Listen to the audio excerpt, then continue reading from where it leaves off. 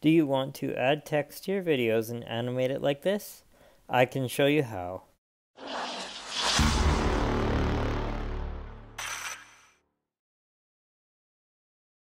Hi everyone, welcome back to the channel.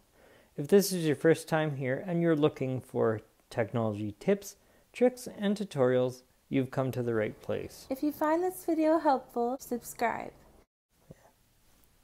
The InShot video editor was updated so that now you can include text animation in your videos.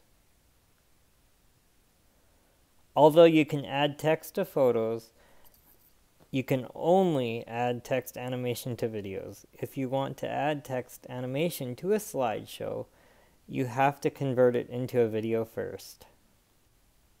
Open InShot and add a video clip as usual. To speed up processing time, choose the shortest video clip you can. Once you've selected a video clip, it will load. Let's add and format some text. Tap the T to bring up the keyboard.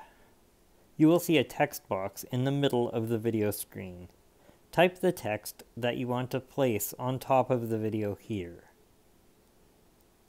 Don't worry about the format just yet.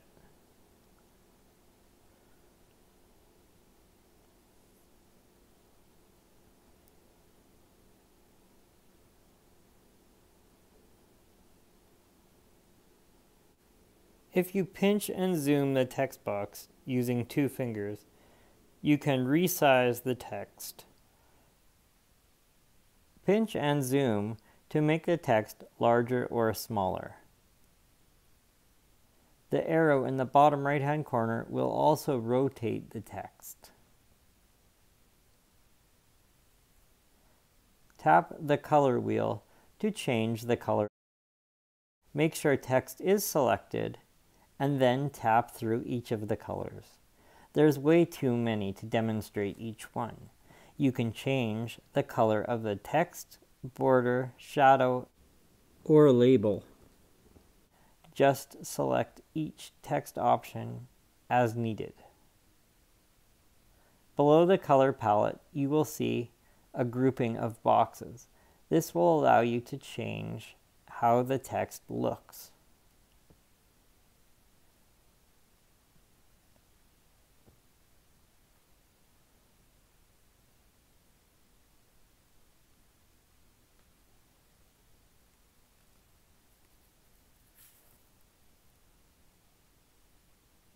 For example, you can make the text look like that or that. Just choose the one that looks best to you. I like the first one. To change the font, tap the A and choose one of the available fonts. I like permanent marker. Then tap the check mark. Next, you'll need to choose how long you want the text to appear on screen. To do this easily, long press on either one of the arrows and choose video end or end of clip.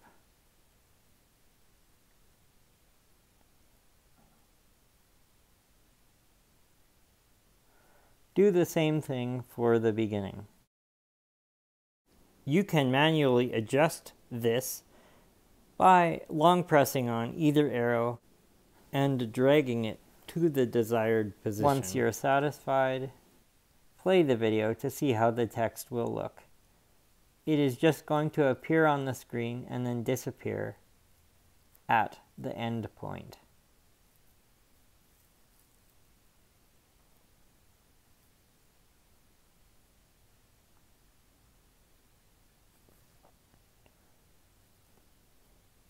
It may take some time to get the end and beginning positions just right. That's okay. You can scrub through the footage. That looks good right there. You can delete the text by tapping on the red X. The text is now gone. If you want to add text again without typing it, just tap the T and you will see a little clock above the check mark. Tap that clock. Here you will find all the text you've added. Tap the text you want to add and it will be replaced. Let's animate some text.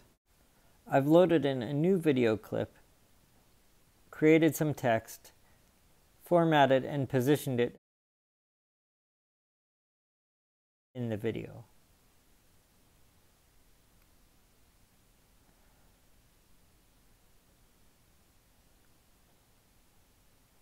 Play the video so the text appears on screen.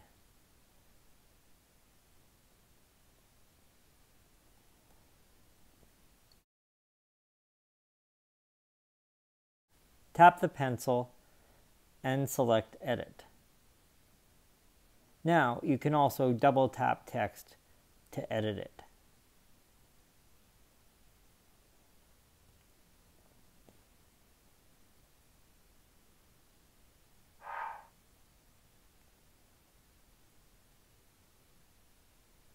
Do you see that moving icon next to the font icon?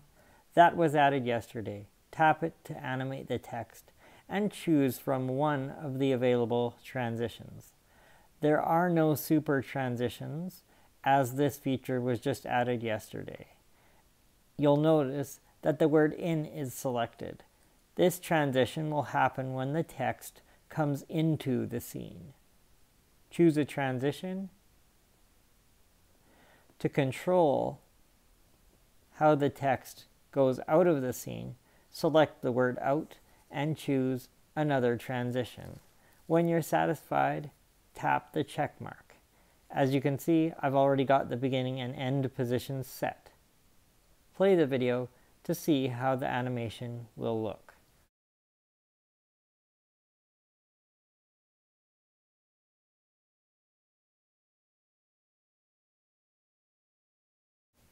To save your video clip, tap the share icon. Tap save and processing will begin. Do not lock the screen or switch between apps while this is happening. If you do, the video may not save. When processing is complete, you can find the video in your video library and you can use it in any project.